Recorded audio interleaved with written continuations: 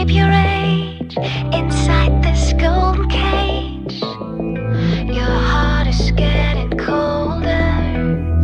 Don't you